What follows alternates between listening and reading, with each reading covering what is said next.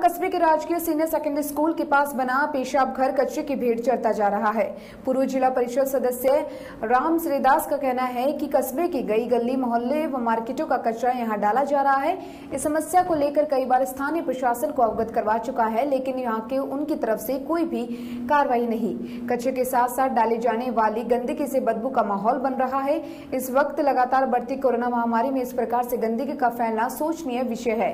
एक तो यह कि मुख्य सड़क है और दूसरी तरफ़ सैकड़ों बालक बालिकाओं को पढ़ने का विद्या मंदिर है। लगातार कचरा डालने से इस जगह पर कचरा डिपो बन गया है। कचरे के ढेर में सुअरों का भी ज़बरदस्त आतंक रहता है। सुअरों की भागदौड़ में सड़क हादसों की आशंका बनी रहती है। कई बार सड़क हादसों में भी हो जाते हैं।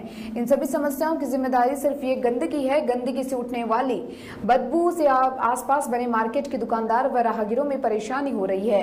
आखिरकार इस समस्या का समाधान करने के लिए प्रशासन की कुंभकर्णीय नींद कब खुलेगी? दुकानदारों ने चेतावनी दी है कि समय रहते समाधान नहीं हुआ तो आंदोलन किया जाएगा। फ़िलहाल इस बुलेटिन में इतना ही और तमाम खबरों में